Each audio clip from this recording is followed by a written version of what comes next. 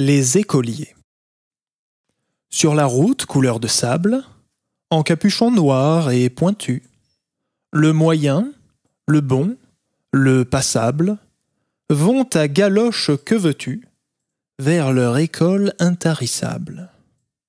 Ils ont dans leur plumier des gommes et des hannetons du matin, dans leur poche du pain, des pommes, des billes, ô précieux butin, gagnés sur d'autres petits hommes.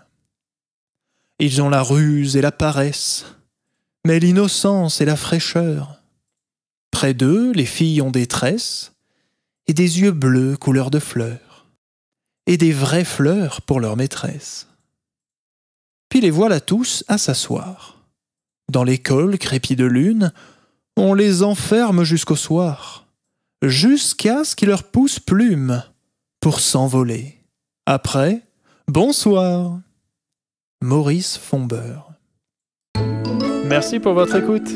J'espère que ça vous a plu. Abonnez-vous pour revenir me voir et laissez-moi un commentaire. Ça me fait super plaisir de vous lire.